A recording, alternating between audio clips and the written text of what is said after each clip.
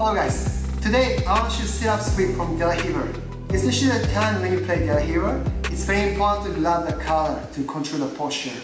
But sometimes it's not available to do. In that case, see, I to show you the way to attack, to sit up. Like ankle pick, arm drag, and single leg takedown. Let's get started. Okay, like I explained, so here, see, I play La Riva. Then in order for me to play the regular La Riva, I will have the collar grip on this side. Then I have a lot of options to attack. But sometimes, right, it's not available to do. He can't split like this, you see? And then if I stay here, it's easy to make his position like this, and then I'm in trouble. So that's why I'm going to make the sleeve grip like this, you see, on this side. Not the cross grip today, like this. Whenever I have a chance, I look for the card grip like this. But this time he's a bit cautious, see here. It's, uh, his card is a little away from me. So that case, I wanna shift to the ankle pick. It's more like a stand-up sweep, see? As you keep swaying on left leg like this, I can easily move my body side to side.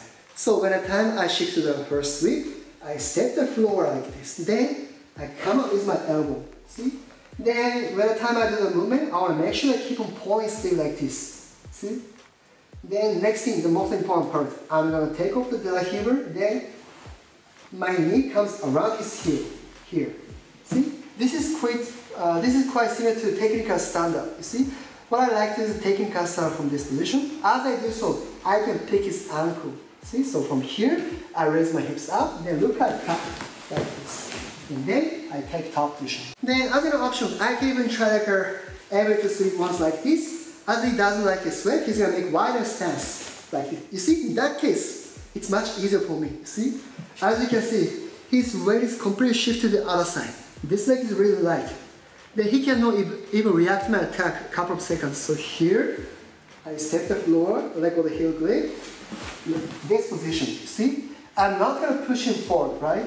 The structure is ankle pick, right? From now, I'm gonna pull my left leg behind, as if I'm doing a technical stand-up, see? As I pick it up, he's going to lose his balance, like. See? Then I take top position.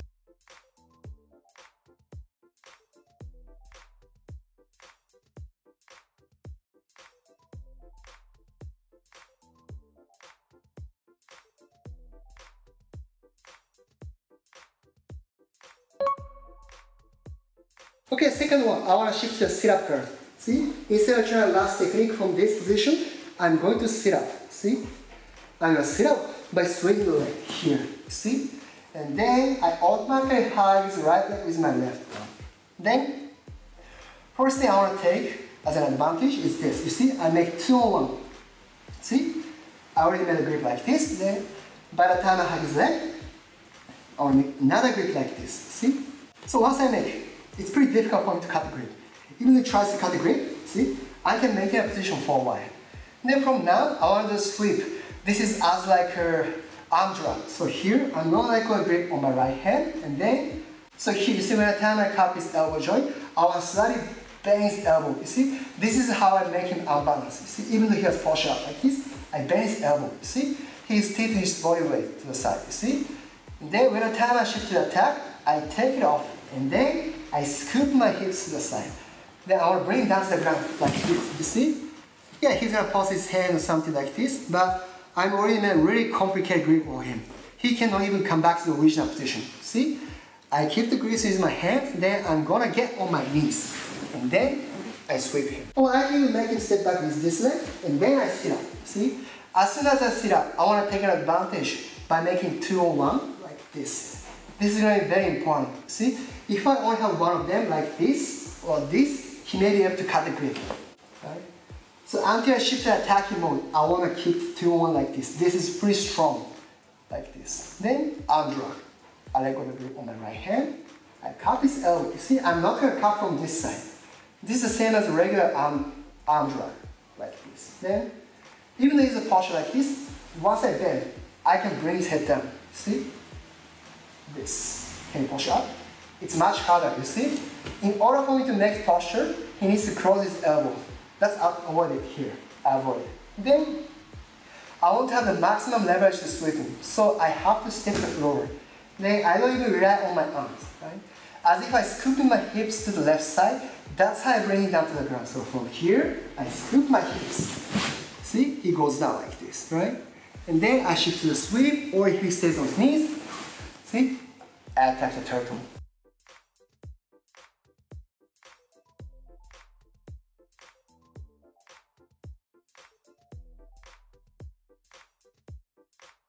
Okay, next one. See, the same as the last technique. I already made a two like this, right?